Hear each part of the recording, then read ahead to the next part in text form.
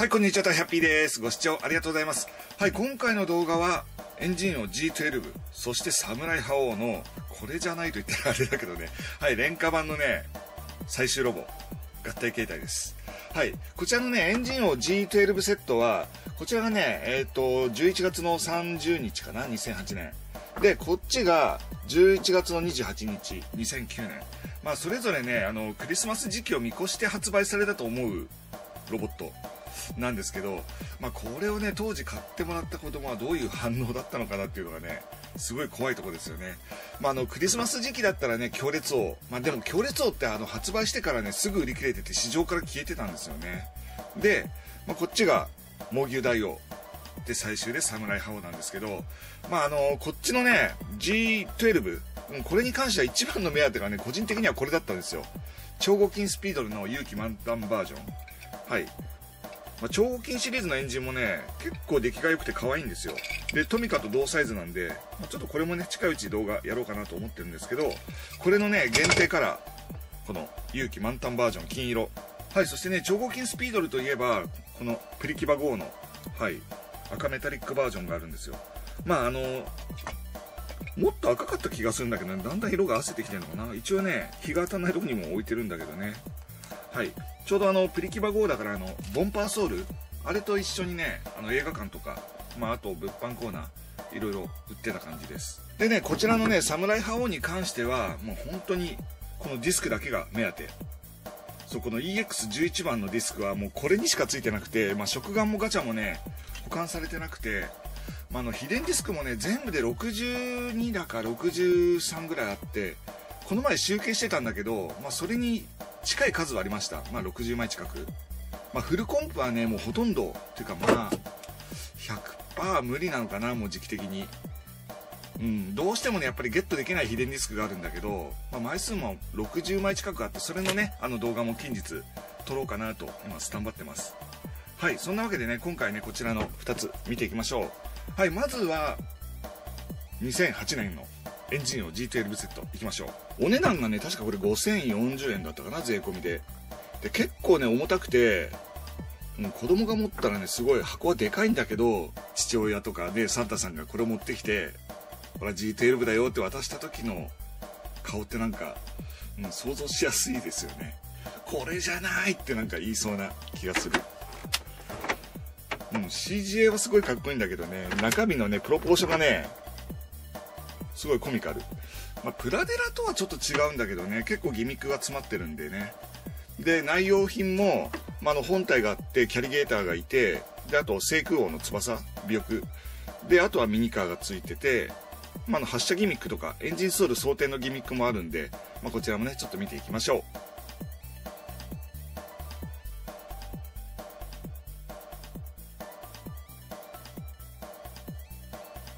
はい、今ね、ミニカー前景ぐるっと見てもらったんだけど、まずはね、エンジンスピードル、勇気満タンバージョン。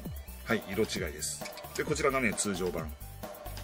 まあ、このね、トミカサイズの合金のミニカーがね、どうしてもやっぱりスピードル、全色揃えたいなっていうので、この G12 買った感じなんですけれども。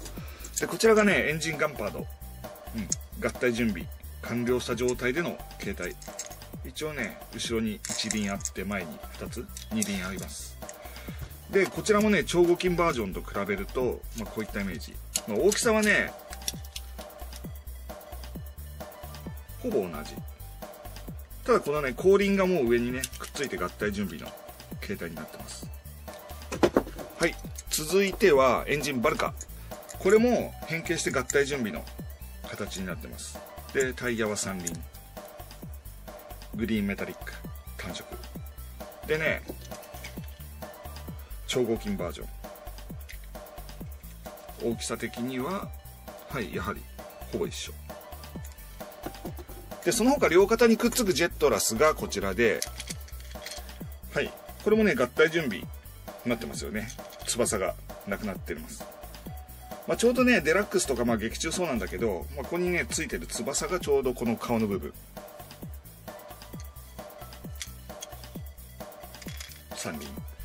で、トリプター。これも合体準備完了ですね。金色一色で、プロペラ回転。まあ、ちょうどこのね、尾翼部分が、ここになります。はいそれではね合体していきましょうかでその他このキャリゲーターの前後パーツとセ空号ジャンボエルのね後ろそしてはい尾翼で尾翼パーツこれがねなんだろうね時間なのかそれとも今撮影してる部屋が寒いのかめちゃくちゃ硬いんですよ。でさっきこれ尾翼って言ったんだけどジャンボエルのメインの翼です。ほんと硬いなこれ。角入れてちょっとスライドさせて押し込めばいける。すごい硬くなってるね今。よし来た。で反対側。ちょうど真ん中あたりこれ角入れてずらしてこれで押し込んだ方が止まるか。よし来た。で両肩にトリプターとジェットラス。で足にはバルカ。でガンパード。これで完成。エンジンを G12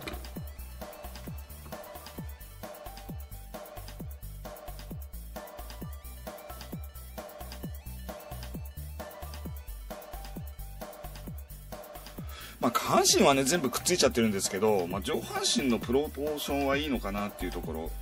で腕もねちょっと翼の兼ね合いがあって360度回んないんですけど、まあ、ここまでは動くんで。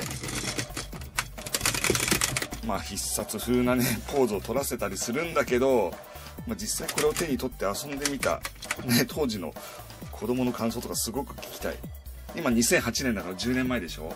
まあ見てる人がね、この動画見てる人がね、今2018年だから、どうなんだろうね。もしいたらね、感想とか教えていただけると嬉しいです。まあデラックスは紙シールだったのに対して、これはね、メッキのシールになってるんですよね。すごい綺麗。で、メッキパーツはここ。トリプターの尾翼。で、ベアールはね、こっから前だけペイントされてる感じ。キラインケラインもね、前から見たら色は塗られてるんだけどね、後ろから見ると色がなし。はい。でね、これ、トリプターとジェットラス。バルカ外して、ガンパード外して、まあ、その代わりに、このトリプターをセット。そして、ジェットラスもセット。はい。足に取り付け可能。で、バルカを肩。で、ガンパードも肩。はい、入れ替えがね、可能です。まあ、玩具オリジナルギミックですかね。はい、キャリゲーターの前方パーツと後方パーツ。これね、開けられます。で、中に白い板があるんだけど、これをね、押し込んで、後ろ。このね、黒いボタンで発射。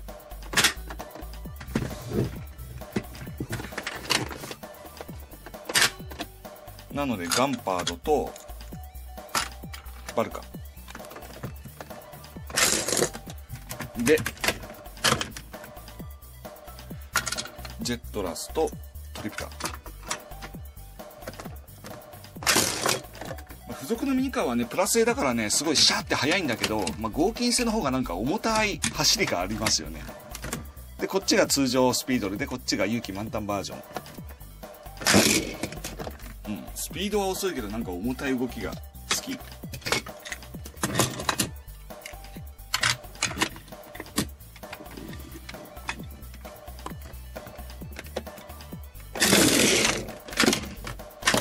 でさらに後ろのジャンボエルのカーゴ部分ちょうどね G12 になるとかかとなんだけど、まあ、黒いボタン2個押すと開きます。でこっちも開きます。はいこの形はもうねお分かりの方いると思うんですけどエンジンソール装填が可能です。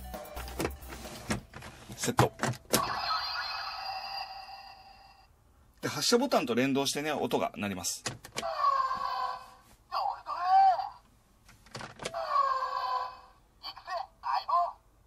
でまあこの飛び出た真ん中ボタンは蓋閉めると同時に押されるんだけど、まあ、黒いボタンと連動してるのがねここ。ちょっとこっちだけなんで片側だけなのであの入れるエンジンソールによっては音が鳴らないんですよね。で例えばもうこれちょっと電池切れちゃってるんだけど食玩ソール。はい。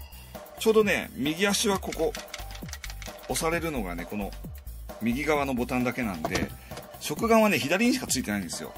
なので装填して押したとしても何も音はならない。そんな仕様です、まあ、なのでスピードルを入れてスピードルソールセットして押したらで例えば主題歌ソール。さっきちょっとね超合金の出が弱かったバルカ入れようか。いきます。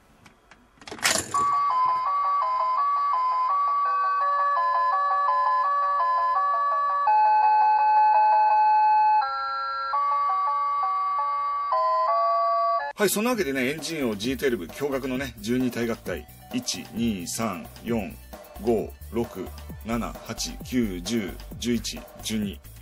はい、12体合体した状態の、まあ、玩具なんですけどね。まあ、発射ギミックとかね、この、これらの組み替えはね、これはこれでね、面白いんですよ。まあ、エンジンソールセットとかね、できたりして。ただ、まあ、時期も時期でね、お値段も5000円かなうん、これでクリスマス時期にこれをね出したっていうのはどうなんだろう？まあその、おお暴発してる。まあ親視点からするとね、本当に物心つく前のね、本当に幼児の段階だったら安く済ませたいから、とりあえずこれで全合体だよって渡すのもありかなっていう感じだけどね。そう、これとね、デラックス版を間違えて買っちゃったパターンが悲惨だよね。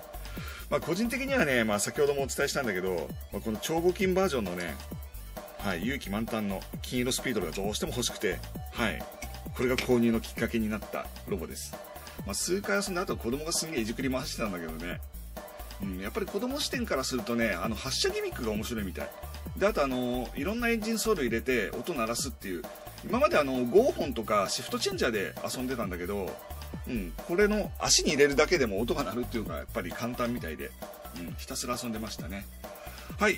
でね、超合金に関しては、まあ、これらちょっとね、まあ、近いうちにね、動画撮ろうかなと思ってます。あとね、この限定版、超合金スピードなんかも含めてやろうと思ってます。はい、お次は秘伝回転アクションサムライ覇王なんですけれども、これもね、轟音に続いて翌年、いい時期にね、出たんですよね。はい、個人的な一番のお目当てとしてはこちらのサムライ覇王の顔ディスク EX11。まあ、これだけがね、どうしても欲しくて購入のきっかけに至ったものなんですけれども、まあ、ロボ的にはね、合体遊びっていうのはそんなにね、プレイバリューないですね。まあ、時期がね、時期だけに、ちょうどね、こういったもの、サムライ派を全合体形態、まあ、このイラストとか見ちゃうとね、あ、これ全部くっつくんだって思っちゃった層が買った時の悲惨さっていうのはやっぱり計り知れないもんがありますよね。そう、分かってて買う分にはね、全然いいんだけど、あとは費用を抑えたいっていうパターンだったね。そう、サムライ秘伝ディスクもね、あの、まあ、さっきも言ったんだけど、60ちょいあるんだよね。で、ナンバリングもね、されてて、まあ、厳密にね、これが何番っていうのはね、大っぴらには出てなかった気がするんだけど、一応ね、その、食玩だったら C とかガチャポンだったら、ね、V だったり、そう、一応ね、番号があの割り振りされてるんですよね。そう、なのでね、まあ、そこら辺のね、まあ、侍秘伝ディスク、まあ、これだけの動画、解説動画もね、ちょっと今、準備中ですので、お待ちくださいませ。かなり長くなると思うけどね。まあ一応ね、あの、真剣は全ディスク、携帯で持っときたいっていうのもあるし、玩具は玩具でね、くっつけときたいっていうのがあるんで、基本2枚3枚持ちなんで、はい。まあ、今後の動画は複数ディスクが出てくると思います。ただ大量にあるからね、第5用で遊ぶ時には不自由しない。そんな利点はあります。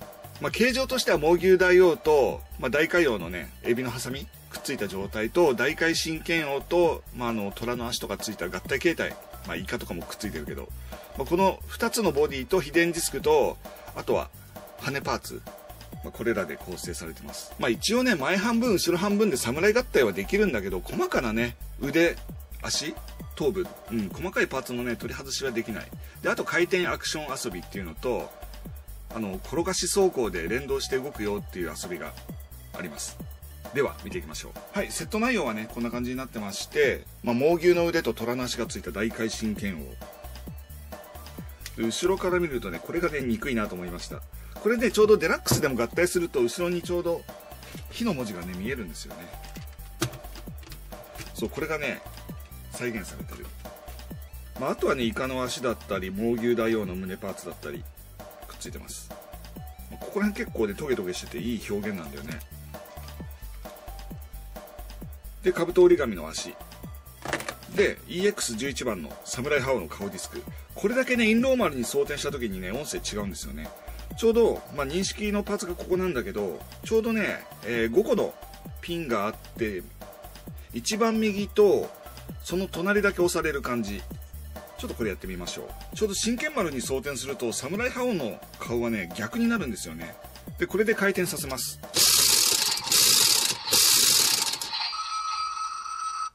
はいこのね全の文字がくるくるくるくる回ります。はいそしてスーパー真剣丸すごいぞ、秘伝ディスク。いろいろな秘伝ディスクを入れてみよう。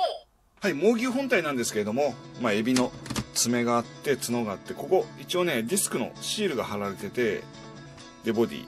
で、側面は亀折り紙の点。で、猿折り紙の土。で、背面が大天空丸々シールです。まあ、イカの頭があって、虎のボディ、カジキの後ろ。で、兜とカジキ。はい、それではね、侍合体いきたいと思うんですけれども、まずね、あの、箱に入ってた別パーツ、取り付けましょうか。まあ、兜の足。で、ここからね、合体いきましょう。猛牛大王のつま先。これをね、引っ張り出す。はい。そしてね、ジョイントが、1、2、3、4、4箇所あるので、この大回神剣王の、ちょうどね、1、2、3、4、この4箇所で合わせます。ちょうどこう来て、位置を合わせて止めるだけ。これで、お、エンジンソール暴発したな。はい、これで、サムライハオ完成。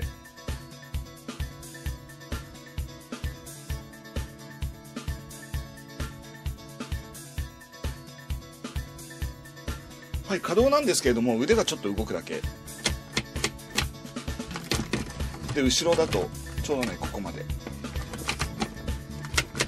でも角とかはもうこれ完全固定なんだけど内室パーツなのでちょっとグニグニ。動かせたり。でここのねエビの角触覚か。これはね取り外し可能。なんだけどこれね予想以上にこの顔周りがすごい好きなんですよ。こう見てみると。そう意外にねこれ細かく塗り分けされてるんですよね。でこの肩のキャノンなんかもねシールなんだけど、まあ、正面から見たら全然あり。はいそれではね玩具オリジナルギミックいきましょう。まずねこの刃を1回ね前後分離してこの状態でディスクをね取り付け。るうん。こうすることによってね90度ごとに顔が動きます。こうやってみるとね腕とか胸の装飾のない猛牛大王なんですけどこの状態でディスクを回転。今笑ってるけどこれでちょっと悲しい顔。でこれが普通の顔か。そしてちょっと怒り顔。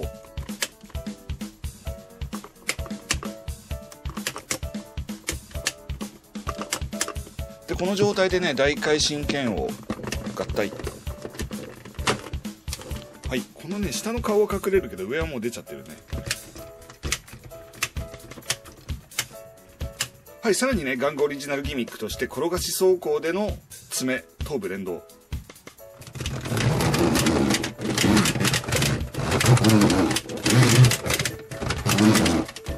まあ、主に動くのが、まあ、こことこことここの3箇所だけなんで、ちょっとこれ、ドアップ。